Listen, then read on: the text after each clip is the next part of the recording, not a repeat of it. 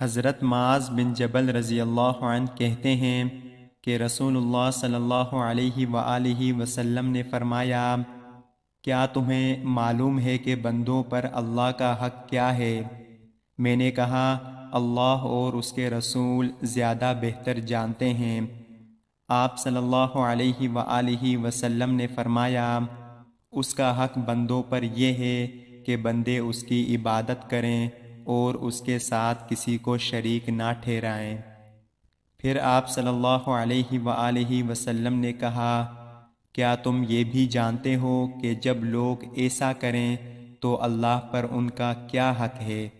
میں نے کہا، اللہ اور اس کے رسول بہتر جانتے ہیں۔ آپ صلی اللہ علیہ وآلہ وسلم نے فرمایا، ان کا حق اللہ پر یہ ہے کہ وہ انہیں عذاب نہ دے۔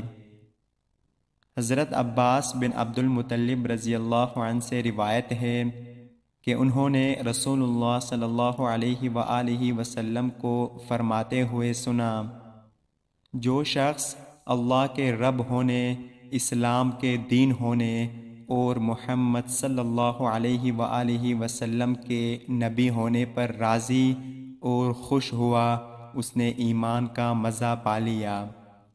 حضرت ابو ذر رضی اللہ عنہ سے روایت ہے کہ رسول اللہ صلی اللہ علیہ وآلہ وسلم نے فرمایا، میرے پاس جبرائیل علیہ السلام آئے اور مجھے بشارت دی کہ جو شخص اس حال میں مر گیا کہ اس نے اللہ کے ساتھ کسی کو شریک نہیں ٹھہرایا، تو وہ جنت میں جائے گا۔ میں نے کہا، اگرچہ اس نے زنا کیا ہو اور چوری کی ہو آپ صلی اللہ علیہ وآلہ وسلم نے فرمایا ہاں اگرچہ اس نے زنا کیا ہو اور چوری کی ہو، اللہ تعالی ہم سب کو ان پیاری احادیث پر عمل کرنے کی توفیق عطا فرمائے۔ آمین۔ یا رب العالمین، السلام علیکم ورحمۃ اللہ وبرکاتہ۔ آپ سب دیکھنے والوں کا بہت شکریہ۔